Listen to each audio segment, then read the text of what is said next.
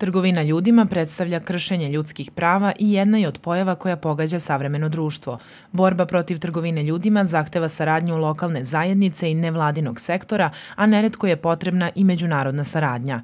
Istraživanja pokazuju da su najbolja prevencija dobra informisanost i edukacija, posebno dece i mladih. Stoga je Crveni krst Kragujevac obratio pažnju na najmlađe i organizovao online edukaciju tokom cele školske godine kako bi se podigla svest o ovom široko rasprostranjenom problemu. Crveni krst Srbije je uradio jedan interesantan link koji smo mi prosledili svim osnovnim srednjim školama i da kažem u tom nekom periodu je obuhvaćeno 1528 učenika u osnovnim školama i nešto više od 400 učenika u srednjim školama tokom maja i juna meseca, što je nama zaista drago da eto informišemo i tu ciljnu grupu.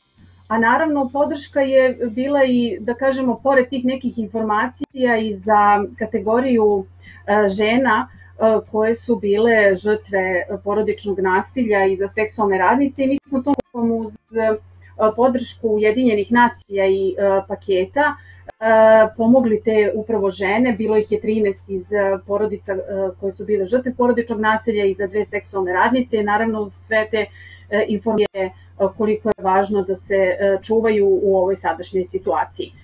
Podaci pokazuju da je spektar kriminalaca širok. Osoba može postati žrtva tokom putovanja u inostranstvo ili odgovarajući na primamljiv oglas za posao. Dešavalo se da su u trgovinu ljudima bili uključeni vlasnici fabrika, menadžeri, pa čak i članovi porodice žrtve. Dešavalo nam se tokom ove pandemije da se zloupotrebi čak i znak Crvenog krsta, e, prosto ljudi veruju Crvenom krstu i kada vide naš znak, oni imaju poverenja i dešavalo se da se ljudi predstavljaju da su naši volonteri, da nose naše majice. E, tako da, eto, vezano za ovu situaciju, mi zaista se trudimo da svi naši volonteri uvek imaju kod sebe e, papir sa našim pečatom i sa e, našom oznakom koja je adekvatna, tako da e, molimo zaista ljude pogotovo starije ugrađene, naravno uvek može da se desi i mlađima, ali eto oni su da kažem isto jedna od najređe kategorija koji mogu da e, iskoriste ovu situaciju i da zloupotrebe njihovo poverenje. Crveni krst Kragujevac nastoji da spreči trgovinu ljudima kao i da žrtvama pomogne, a samo zajedničkom i kontinuiranom aktivnošću svih institucija i društveno odgovornih organizacija može se stati na put ovom ozbiljnom problemu.